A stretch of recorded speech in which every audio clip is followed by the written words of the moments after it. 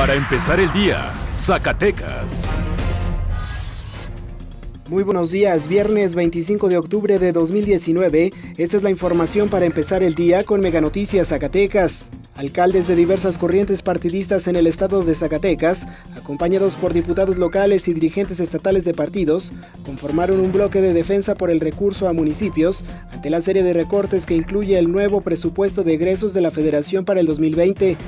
El pronunciamiento estuvo encabezado por representantes de los partidos Revolucionario Institucional, Acción Nacional, de la Revolución Democrática, Nueva Alianza y Movimiento Ciudadano, en el que advirtieron que de no darse respuesta favorable a las demandas presupuestales previo a la aprobación del presupuesto federal, presidentes municipales de todo el país realizarán otra manifestación masiva en la Ciudad de México. A través de un video difundido en redes sociales, Benjamín Medrano Quesada, coordinador de la Feria Nacional de Zacatecas, declaró que ya se entregó el informe correspondiente al Sistema Integral para el Desarrollo Integral de la Familia en la Secretaría de la Función Pública. El coordinador refirió que dentro de las 3.807 hojas del informe se señala el destino de la inversión del gobierno estatal de 30 millones de pesos, así como la renta de espacios fijos, semifijos y locales.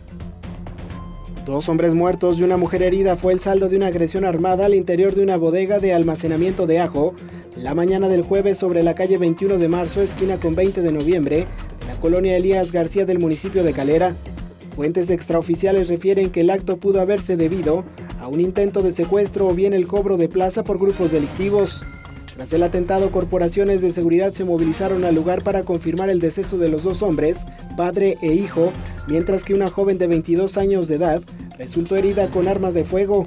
Fue trasladada a un hospital para su atención médica. Ahora usted ya está bien informado para empezar el día con Mega Noticias Zacatecas. Para empezar el día, Zacatecas.